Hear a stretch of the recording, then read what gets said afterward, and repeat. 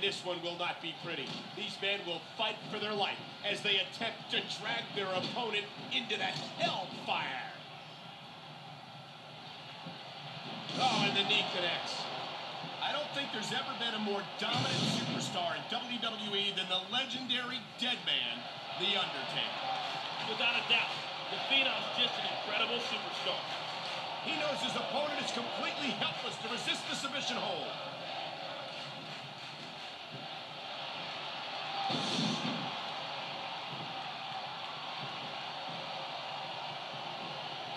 Nice quick counter there. The ring has a flamethrower's intensity.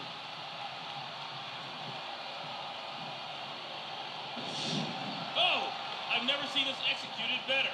Neither have I, partner, and this might be enough to get the tap out right here.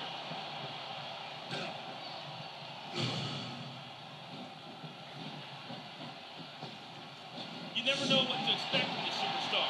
This could be over in 60 seconds or 60 minutes. Here it comes. Look out.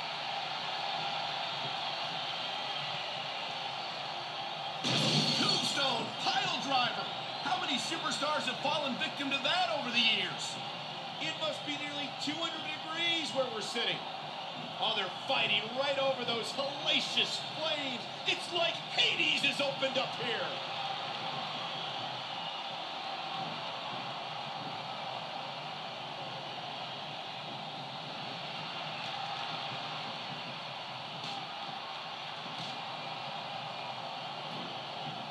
Oh my God, they fought out of it.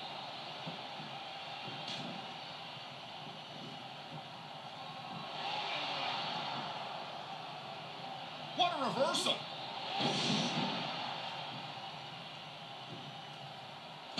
A vicious elbow drop delivered with a lot of force. The Undertaker.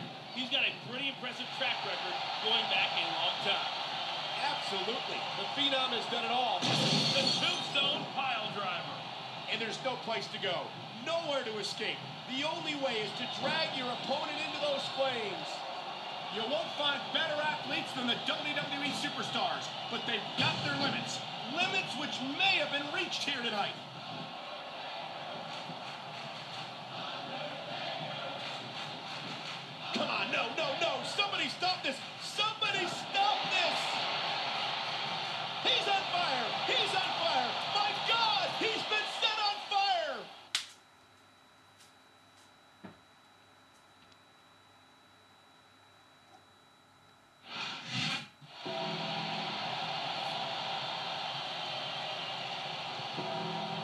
Is your winner, The